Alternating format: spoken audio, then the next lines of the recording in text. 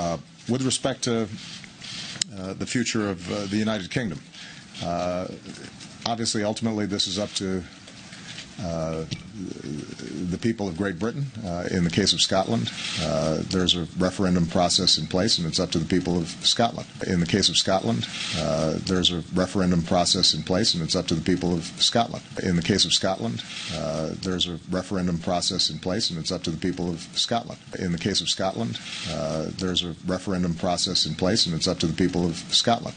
Uh, I would say that um, the United Kingdom uh, has been an extraordinary partner to us.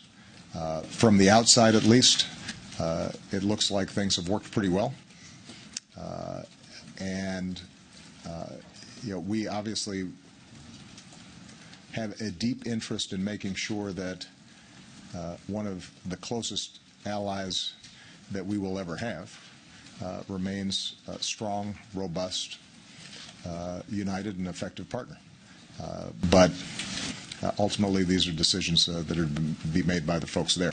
Uh, ultimately, these are decisions uh, that are be made by the folks there. Uh, ultimately, these are decisions uh, that are be made by the folks there.